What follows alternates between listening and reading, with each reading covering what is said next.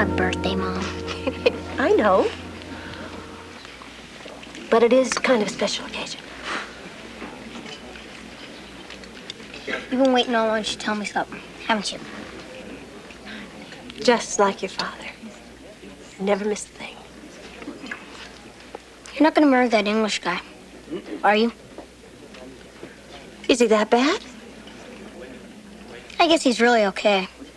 I'm kind of getting used to the way he mumbles. Well, I'm glad to hear that.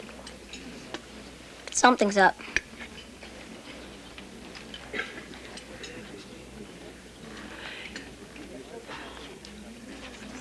What would you think if I went to England with Don?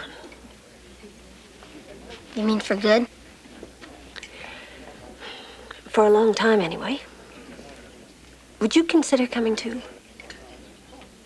I mean, we could do a lot of traveling all around the world. I'd get you a private tutor, and you could see how movies were made. And you'd see a lot more of life than you'd see here in Dallas. I know it would be very difficult leaving your father and, and Christopher.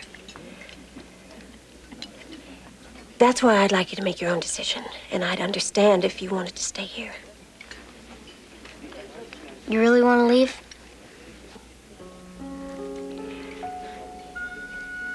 I love you very much.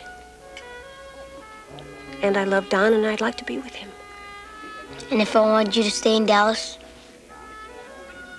Then I'd stay. But if I did go, and you stayed, then we'd visit each other all the time.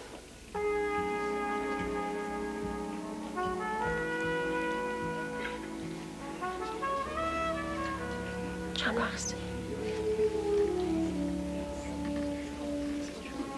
I love you very much. That's why I want you to think this over very carefully.